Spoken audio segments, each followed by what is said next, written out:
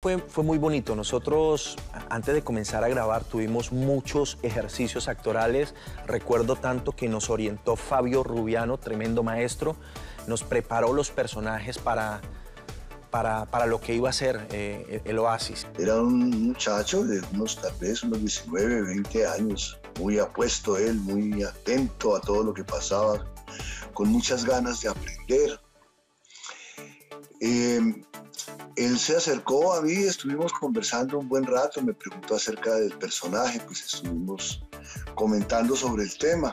Decía que trabajar con ella era muy bueno porque pues era una, una niña pues bien.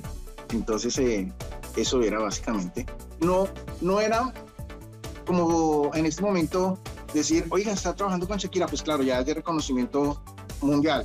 Pues anteriormente era una compañera normal de trabajo, pues que era bien. Doña Nidia, la mamá de, de Shakira, la acompañaba siempre a las grabaciones. Siempre que estaba todo el tiempo Doña Nidia allí en las grabaciones, en todas las escenas. Entonces, desde luego, la cuidaban mucho, la cuidaban mucho. Pero a todos lo sabemos, no es un misterio. Shakira sabía que su proyecto era la música, no la actuación.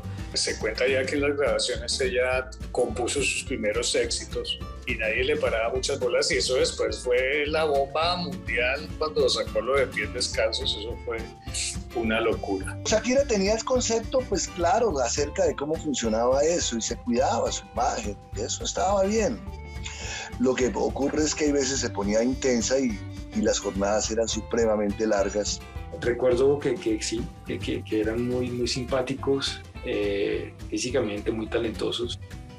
Eh, y hoy en día sabiendo que, que nos conocemos y que, y que compartimos tantas cosas y tenemos tan bonita, bonita amistad como muy hermanos, entonces es, es chévere eh, ver cómo Dios te premia en algún momento y y te, y, te, pone donde está con personas que tú en la vida pensabas que, que ibas a conocer.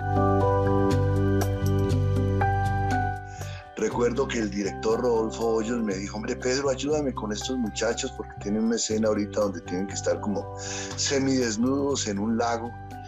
Ayúdamelos porque ambos están supremamente tensionados. Entonces yo hice lo que pude para que esas escenas salieran bonitas. Hay una escena muy bonita, muy icónica del oasis, en donde estamos los dos eh, cerca de una, una caída de agua, eh, como un manantial, una noche. Era un momento romántico que hace parte del cabezote de presentación de, del Oasis y, literalmente debíamos eh, mostrar que estábamos desnudos, juntos, allí solos. Y claro, entonces eh, Rodolfo, el director, le pide a ella que se baje la, la tira del vestido para que se viera el hombro limpio y ella no quiso. No quiso. Entonces me tocó a mí ponerle la mano aquí para taparle la, la tirita del vestido, en fin, pero, pero son bobadas, éramos niños, éramos eh, inmaduros en, en, este medio, en este medio actoral, pero nos cuidaron mucho. Con el director, con Serio, con el mismo Humberto, pues la apoyaban, la apoyaban para, para que quisiera, sin tener la experiencia en el bagaje en actuación, pues sacara adelante su personaje y se viera en la pantalla muy natural su relación con Pedro. Y, y sí, yo creo que lo logró, yo creo que lo logró. En internet se puede ver el cabezote o presentación de la novela y algunas escenas, los derechos de El Oasis fueron comprados en su totalidad por Shakira y no pueden ser utilizados ni transmitidos por nadie más. Shakira finalmente decidió comprar la serie se la compró a Sempro Televisión y nunca se pudo volver a saber exactamente qué fue lo que pasó ahí.